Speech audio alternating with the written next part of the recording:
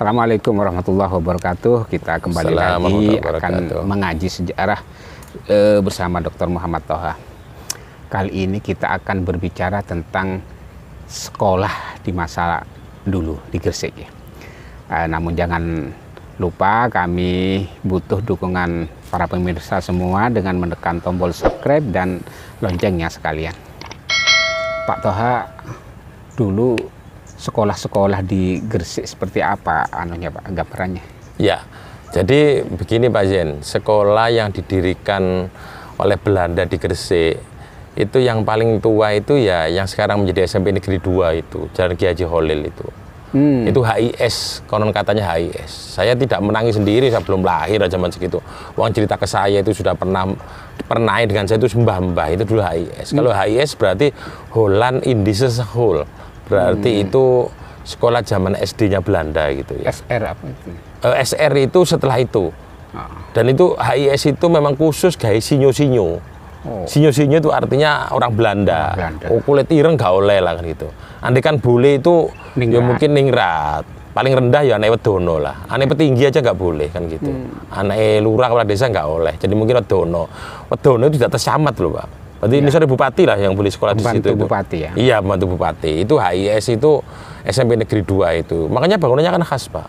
Tapi saya juga sedikit menyayangkan banyak yang dirubah, iya, itu banyak itu kan yang cagar budaya. Cagar budaya. Belum, Tapi, waktu itu mungkin belum ada. Iya, perda, perda tentang itu. Iya, mungkin itu. Dan memang sekolahan itu kan zamannya ya sudah cukup lah karena warga itu berapa sih apa nih wong londo, mm -mm. piro wong londo di sini sekolah itu cukup kan gitu kan. Nah, tapi ketika seiring anak wong Indonesia tambah ke sekolah di situ, akhirnya kan kurang tempatnya. Akhirnya makanya ditambal sulam, tambah disusun di belakang, di tingkat di samping kanan, samping kiri, misalkan. Tapi kalau melihat e, cendela dan pintunya, godongannya itu sudah mesti ngerti ini bangunan kuno, kan begitu, hmm. Pak. Dan sekolah itu strategis banget, Pak, di pinggir stasiun. Yeah sehingga kan orang dari mana-mana pun Tangerang ini gampang pinggir stasiun kan gitu kan nah, itu pelabuhan iya pelabuhan terus pelabuhan pasar pasar kan gitu dekat ya memang di situ tuh kotanya sehingga kemudian di situ dan orang tidak tahu ini saya menyisipkan sebentar ya pak uh, tak sisipkan sebentar di Gresik itu berarti Londoi lumayan pak di Gresik itu ada makam Londo loh Pak. Di mana? Penjenengan tahu makam Londo. Makam Londo itu sekarang menjadi SMA NU 1 Medilan. Itu namanya makam Londo. Makam Londo itu karena apa? Kuburan Londo di situ. Makanya kenapa jalan menuju SMA NU satu itu jalannya lebar karena dulu itu kalau memakamkan uh, jenazahnya londo itu dibuat acarakan pak pakai trompet pakai segala gitu kereta kuda yang membawa peti jenazahnya itu pak makanya jalannya lebar ini saya jawab, barangkali ada orang tanya loh, kenapa kok kok ombo dewe? Itu kalaupun tertib pak ya, mobil lewat enak-enak, pak. Hmm. Sampai sekarang aja mobil cukup kok. Yang di Semanu itu ya? Semanu itu kuburan bawahnya itu, pak. Oh. Ini mau sekolahan loh, Pak. Iya. Jadi, ini sore Semanu itu sekolahan, Pak. Eh, eh. sorry, Semanu. Ini sore Semanu itu kuburan, Pak. Oh. Kuburan Londo, Pak. Makanya orang situ kalau nyebut makam Londo. Padahal biasanya makam Belanda itu kan agak artistik ya. Eh, arti itu diruntuhkan. Iya, Pak. Oh. Itu kok zaman sekarang, Pak. Zaman sekarang loh, Pak. Iso di diprotes. Diprotes, Pak. Loh, makanya kalau Pak Zaini main ke apa namanya di Bedilan itu, hmm. di sekolahan itu, ada Pak potongan lempengannya lempengannya apa namanya batu jiratnya itu loh apa namanya kuburan itu tulisan bahasa Belanda hir siapa dan bahasa Belanda masih ada sekarang ditempelkan satu yang utuh Hmm. Jadi saya pernah lewat, oh ini untuk kenang-kenangan mungkin ini. Yeah, yeah. Jadi kuburan Belanda itu kan artistik, kemudian sangat kuat. Itu di Surabaya kan Iya di Penele itu kan. Iya. Itu kuburan semua yeah. pak. Dan nisanya itu masih ada yang utuh. Sempat kan nanti lewat situ, oh kising jari atau hai saya ono pak. Jadi misalkan yang terhormat siapa dibangun di situ, cuma bahasa Belanda di situ itu. Masih ada, ditempelkan di uh, kayak pos gerdu, ditempelkan di situ. Nah, di pintu masuk Semanu Bukan di pintu masuk agak ke selatan. Hmm. Ada semacam gerdu ongkek yang dibikin dari oh, batu itu. Ya, ya, nanti nah, nah, itu di menarik itu Pak. Tulisan bahasa Belanda itu Pak di situ oh. itu. Dan itu kan dekat dengan kantor Anim. Kantor Anim itu kantor PLN. Oh iya. Ha. Itu kan orang Jawa dulu nyebut Anim, Mbak. Itu bahasa Belanda juga.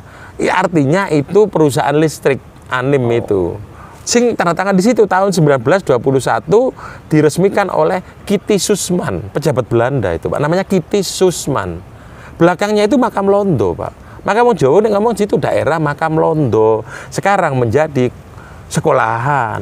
Maka dulu kan sering ada guyonan ono koyok noni noni yeah. melaku yang dukur lantai dua hmm. guyon guyonan kan begitu yeah. dulu sering kebenaran iya atau tidak saya saya tidak pernah sekolah di situ sih cuman ya, sering ada cerita koyok ono londo melaku yang dukur gitu berarti nah.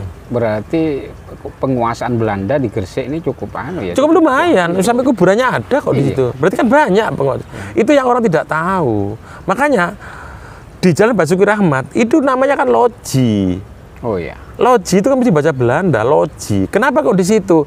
Ya otomatis Londo itu kan menguasai perdagangan, Pak. Kenapa perdagangnya dikuasai? Pelabuhan kan, Pak. Iya, iya. Mulai cu apa cukai, upeti, hmm. semua kan sekitar di daerah pelabuhan, iya. Pak. Sehingga maka disebut daerah loji. Bangunannya kan kayak Eropa, gede-gede itu, Pak. Hmm. Nah, sehingga dimungkinkan kemungkinan, kemungkinan loh Pak, karena nggak ada satu prasasti pun yang berbicara. Kemungkinan rumah wakil bupati itu dulu penguasa Belanda. Iya, iya, iya. Kan gitu Pak mungkin di situ kan kan ideal banget itu hmm. nah. itu yang sekolah tadi kembali lagi ke sekolah ah. SMP 2 yang sekarang ah. itu itu setingkat SD atau apa kalau HIS itu SD kan SD ya SD tapi SD zaman Belanda kan sudah luar biasa, Pak. Yeah, SD zaman Belanda. Nah, mungkin agak tinggi. Iya, lah jadi katakan tadi sing sing SMA NU 1 itu nisore kuburan. Yeah. Lah ada lagi, Pak. SD Petro dulu rumah sakit malah itu. Oh. Jadi jadi untuk SD daerah serem-serem itu banyak gitu loh. Itu banyak. Bangunannya masih utuh, Pak. Waktu rumah sakit itu bangunannya kayak begitu itu. Jadi kelas-kelasnya untuk anak sekolah itu dulu kelas pasien, Pak. Jadi dipan-dipan orang sakit dengan infusnya itu, saya menangi kok berkunjung di situ kok. Berarti ada kamar mayatnya? Oh ada kayak makanya kadang-kadang nggak nyalakan juga, kadang-kadang orang ngomong serem itu juga nggak menyalakan juga kan gitu. Oh. Dan untuk harus baru rumah sakit sangat representatif pak, nggak ada SD sing gede ini ngelebihi SD Petro itu. Lapangannya kan luar biasa, ya. punya aula, punya luar biasa. Itu kan untuk perguruan tinggi aja cukup itu pak, gede banget SD Petro itu pak. Ya. Ditambah lagi di bawah pangkuan Petro. Jadi kan terjaga, ya. terjaga betul kan perusahaan kuat kan, kebersihannya, ya. kemudian perawatannya, gedung-gedung. Itu rumah sakit, Pak. Saya masih ingat, anak saya kan alumni situ, Pak. Hmm. Sehingga dulu ketika saya akan terjebut anak saya, tak pernah saya nyusul ke kelas jasa batin saya. Ya, aku tahu Ruben, tahu aku tahu loro, dikit nangguni kamar iki. Sekarang jadi kamar anak sekolah kan gitu, yeah. ruang ruang anak sekolah kan gitu. Jadi itu dulu rumah sakit. Lah, Sekolah, Pak, itu zaman Belanda kan HIS. Ya. Masyarakat memiliki kemampuan tinggi untuk mendidik dengan caranya sendiri. Seiring dengan itu, madrasah juga ada, Pak. Hmm. Cuman madrasah itu bukan representatif punya sekolah sendiri dulu, tidak. Zaman dulu itu ada rumahnya Pak Kaji Sopo, yang gede, dukure ge sarang burung, di sore ge sekolah. Dan untuk menunjukkan, Pak, sekolah anak anak Islam dulu itu pakai sarung, Pak. Oh. Sekolah itu sarungan, Pak. Dan masuk pagi? Masuk pagi, sarungan, Mbak. Oh. Nah olahraga, kalau nalun, Mbak. Sekolah ini kan ada. Bukan diniyah namanya ya? Bukan, sekolah resmi. Oh. Jadi menunjukkan bahwa kita itu beda dengan Belanda. Sekolah itu sarungan, Pak. Oh, itu di zaman Belanda ya? Oh iya, zaman Belanda, zaman Belanda. Loh dari jari ini sopo. Lah saya itu banyak berkomunikasi dengan mbah-mbah yang banyak sudah meninggal sih. Dia tuh sekolahnya alumni situ. Dia makanya dia ngomong, biyen iku sekolah iku arek sarungan. Maka paling ini bal-balan, Pak. Jadi kiper kan mekangkang ini aja, Pak. Saya kerja sama bunga sarungan gitu. jadi jadi sarungan, Pak. Iya. Main bola ya sarungan, Pak. Mungkin sing penyerang sarung talekno segini iya. digulung selempang mburi ini iya. kan. Ya sing kiper sarungnya dijarno ae mekangkang ini kan gak sama bola kan gitu. Jadi pakai sarung, Pak orang dulu itu sekolah. Untuk membedakan antara uh, sekolahan pribumi, santri dengan abangan ya Belanda lah katakan. Dan kopiaan, Pak. Hmm. Kita melihat sekolah-sekolah dulu bahkan apa namanya Dokter Sutomo, Dokter Wahidin ya, ya, ya. itu kan pakai belangkon, Pak. Ya. Sekolah Pak belangkon, pakai jarit, ya. dukure jas. Orang santri juga begitu, Pak. Hmm. sore sarungan, pakai kopiah, dukure kanggo jas. Iku sekolah MI, Pak. Cuma biar nggak tertib MI, MTS enggak sebagai madrasah oh, gitu aja. Lah wong biyen lulusan madrasah aja wong pinter kok, Pak. Iya. Lulusan SD ku wong pinter, Pak. Hmm. Dulu itu. Kan gitu. Iya. Belum kenal SMP, Pak, SD. Belum. Nah, kemudian uh, ketika itu negara kepingin membangun uh, setelah merdeka awal itu dibangunlah SR Sekolah Rakyat. Hmm, itu sekolah merdeka berarti. Merdeka itulah kemudian bangun sekolah rakyat. Ya. Sekolah rakyat yang pertama itu, Pak, itu orangnya testimoni kepada saya dan itu alumninya sekolah situ. Itu ngomong dengan saya. Sekolah rakyat pertama itu berada di tanahnya GNI. Itu sekolah rakyat pertama dulu. Di GNI. GNI itu. Oh. GNI itu sekolah rakyat pertama. Kemudian pada waktu itu, nah, pemerintahan Gresik belum memiliki gedungnya representatif, kemudian sekolah itu dipindah. Sekolah rakyat yang dulu berdiri di GNI itu dipindah di sekolahan di kebangsaan. Sekolah kebangsaan. Kebangsaan itu artinya sekolah yang berada di sebelah kiri jalan. Hmm. Gedung yang tanahnya sekolah rakyat itu didirikan GNI. Yeah. Jadi GNI itu mengulang lagi, Pak. GNI itu gedung bersejarah, Pak gedung paling mewah pada zamannya yang dimiliki Kabupaten Gresik ya gedung GNI itu gedung bersejarah. Ya, ya. Nah, kemudian muncul lagi SD Sido Kumpul dan macam-macam itu sekolah rakyat juga dulu itu. Hmm. Nah, kenapa kok di situ, Pak? Ini saya sampaikan masyarakat Gresik itu kalau dari GNI atau Trogo Bendung kemudian ke utara itu masyarakat santri, Pak. Oh. Kenapa kok hubungannya SR dengan masyarakat santri? Masyarakat santri itu geleme sekolah, yo nang madrasah. Mm -mm. Makanya nggak ada satupun sekolah rakyat kok di kota itu nggak ada. Di Gresik nggak ada. Yeah, yeah. Sekolah rakyat kok di Sukodono, sekolah rakyat kok di Karangpo, di Trate, nggak ada. Karena masyarakat Gresik itu santri. Sekolah ya sekolah agomo, maka madrasah. Mm -hmm. Akhirnya kemudian peta pendidikan pada waktu itu Pak Zen, sekolah rakyat itu taruh di selatan.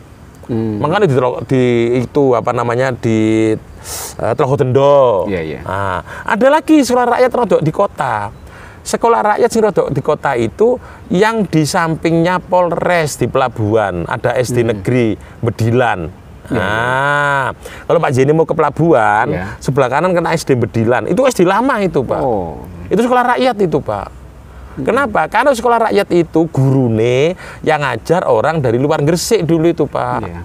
Dari Solo, dari Medion, dari Nganjuk gitu. Nah, madrasah rata-rata yang ngajar itu kiai-kiai itu, Pak. Ya, ya, ya. Jadi dulu itu pendidikan pun tersibak dua, Pak.